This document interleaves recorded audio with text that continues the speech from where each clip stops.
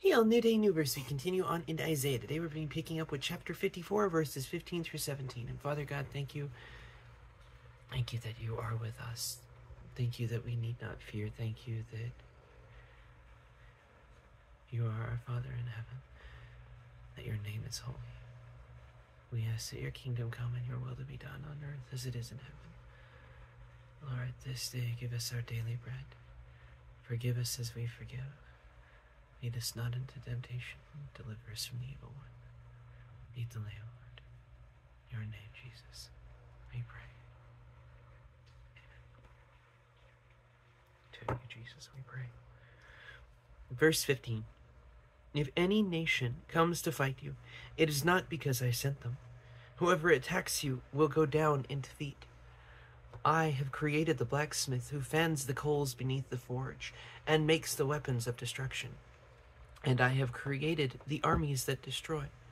But in that coming day, no weapon turned against you will succeed. You will silence every voice raised up to accuse you. Though these benefits are enjoyed by the servants of Yahweh, their vindication will come from me. I, Yahweh, have spoken. I, I really just I want to dig into because there's so much beauty right? You, you've got the from Isaiah's day of the future view of the second temple being built, right? Because, mm, but also the fact that the image of the blacksmith there, right? Because the blacksmith is an image from for Persia. See uh, Daniel, Jeremiah, a couple other places. You know, it speaks there. And so I really love that, you know, right back there, it's a reminder no, no, no, to make sure that Jerusalem is rebuilt for the day it comes crashing down, yep, going to use Cyrus. But if there's going to be a future Jerusalem past that. And I love how it's this this present, past, future tense, all three of them simultaneously, because Isaiah has a present in the temple of trusting and knowing that he is in the arms of the Lord. The people uh, looking forward to the day of the vindication, the blacksmiths, the promise, because you know, Babylon's coming and God's still going to fix that.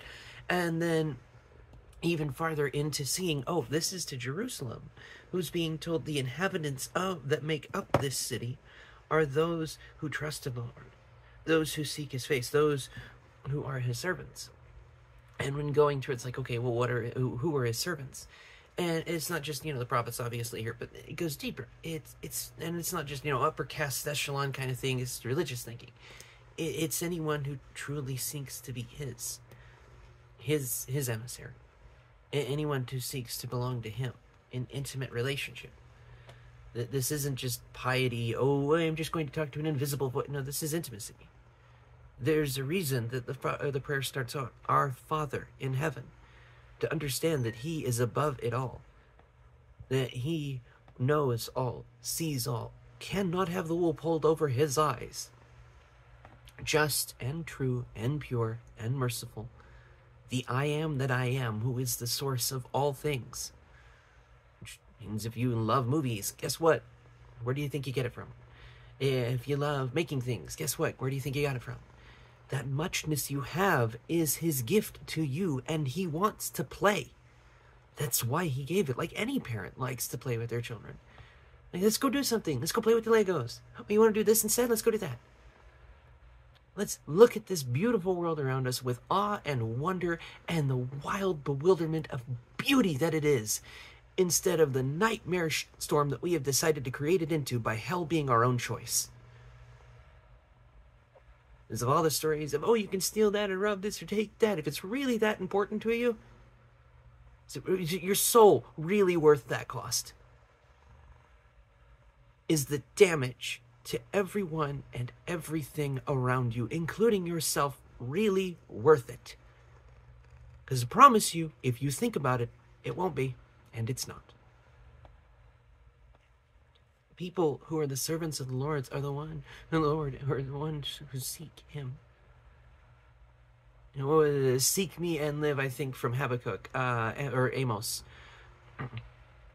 to live justice, to love mercy, to walk humbly with your God. Mercy, not sacrifice. That's why this is wisdom literature. Why it's something that points out why and how we're broken. Not something that fixes. He does that. The Lord does that. That's why the intimate relationship is intimate and organic. When we read this, it reads us and points out where we need the help. So that we can actually remember that humane is derived from what we are, not the other way around.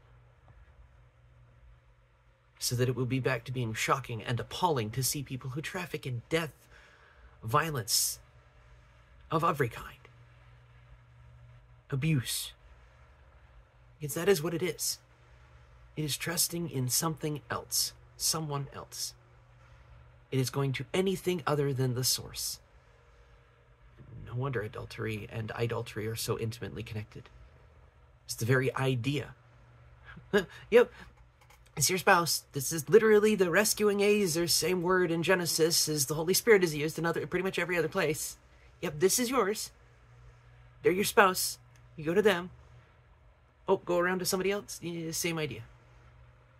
He is the source of life itself.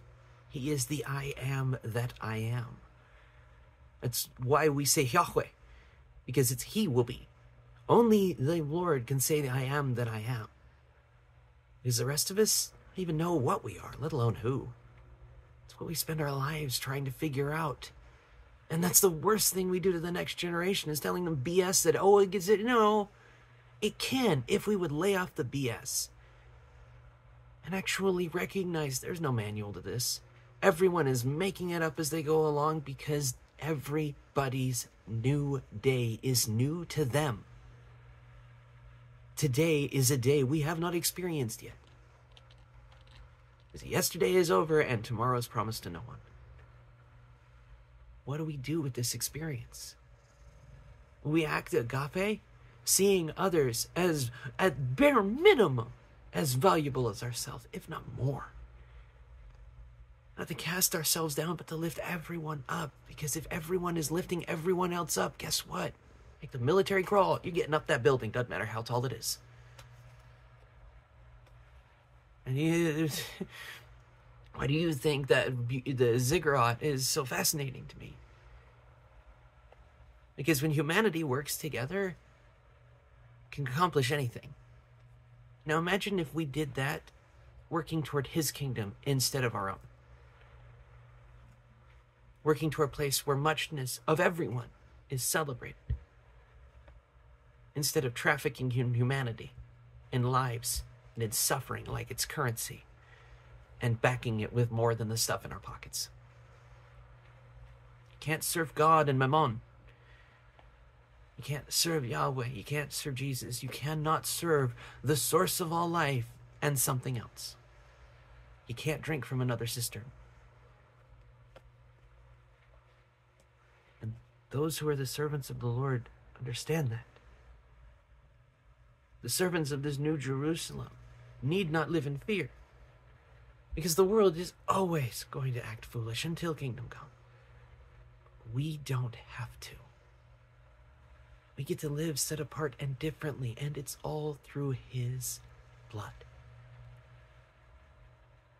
Recognizing that He paid the debt we owe, and He did it out of love. He did it because He knew we couldn't, and He wanted to instead, rather than see us suffer and squirm. And when we understand that level of forgiveness, when we grasp and grok that level of mercy, of course, blessed are the merciful, for they shall receive mercy. We understand what we've been forgiven, and so we can't help but pay it forward because of what the Lord has done for us. That's what unites us. That's what brings us together. That's what